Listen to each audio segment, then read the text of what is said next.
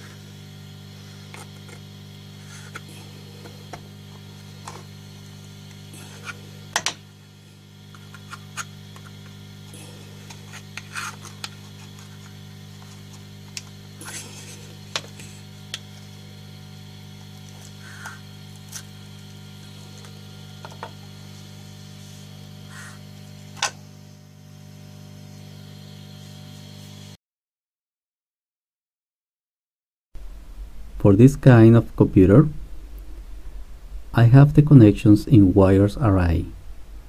So before going to look for the other things, if I don't have water marks and smoke spots, I will check the wires one by one, how is the connection doing, and if the wire is not broken. When I fix an ECU, I depend from my knowledge and my equipment to fix it. But when I am dealing with Opel ECUs, I depend more from repairing skills and my tools. In this case, I have to deal with a very small soldering point, so I need a soldering station and a sharp uh, tip for my soldering iron. My tip is 0.8 T kind. It's a very sharp one and is special for this kind of fixing. And also in Opel ECUs I always found the problem with the connections in the main connector and the only way to deal with it and to do the right testing is using this kind of, of tool. I have to hook every wire and pull it a little to see if it is broken. If it is broken, it will move.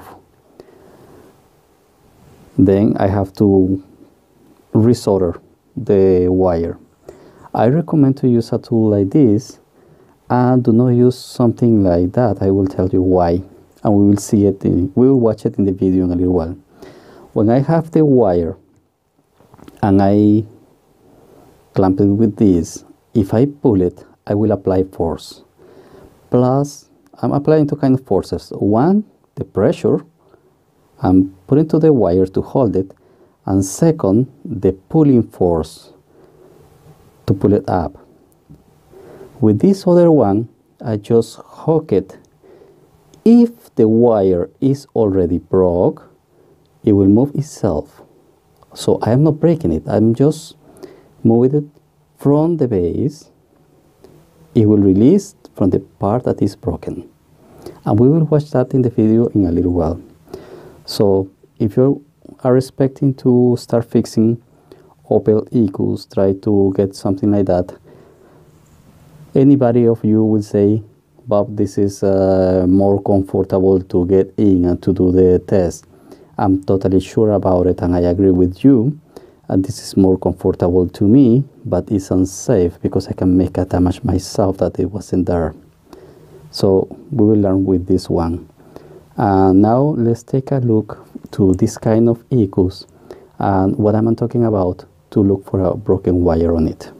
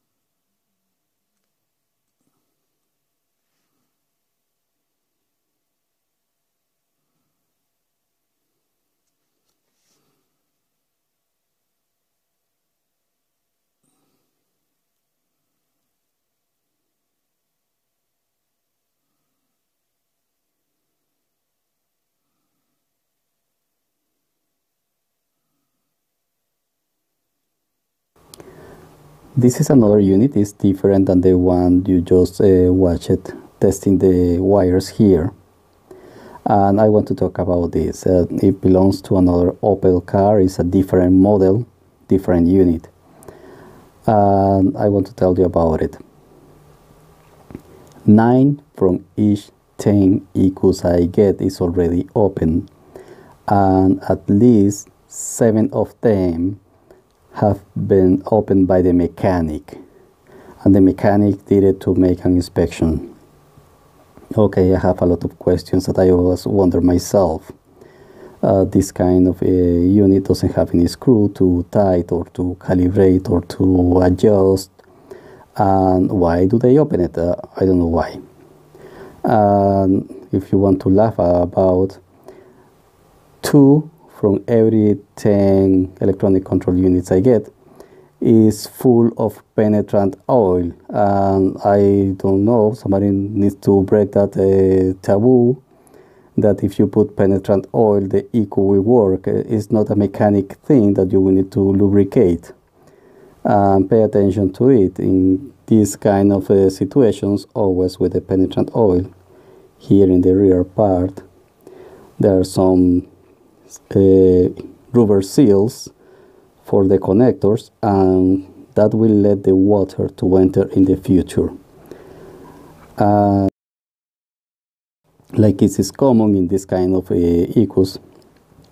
the mechanic put a lot of glue in one side and left the other side totally open for the water to be welcome inside the tiling is not uh, ending there it's just starting.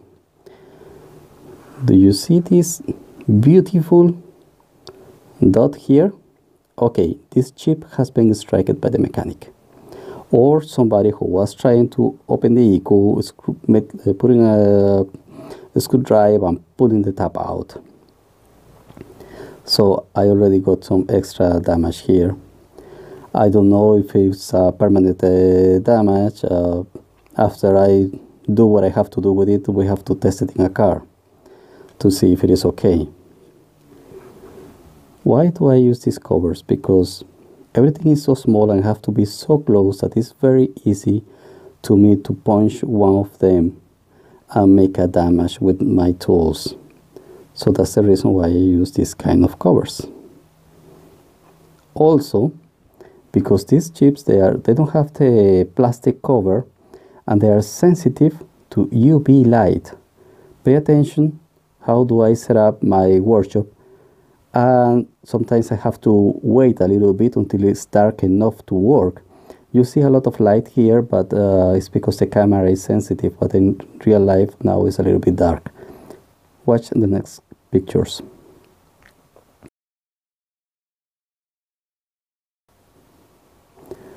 now back to it. Do you remember guys what I told you about the wires?